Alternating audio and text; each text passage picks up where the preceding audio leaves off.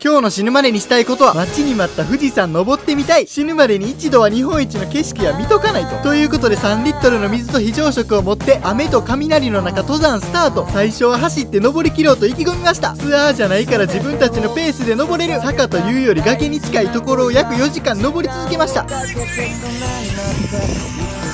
音楽聴いてたらやっと8合目の山小屋に到着。トイレは高いから1階で我慢。山小屋で食べるカップラーメンは格別でした。パンパン組んでる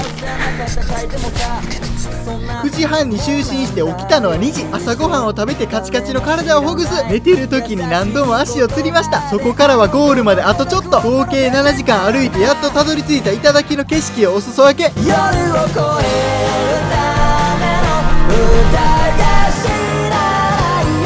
今までめちゃくちゃいろんなことに挑戦してきましたがかつてないほどの幸福感と感動を覚えました。今日はここまで。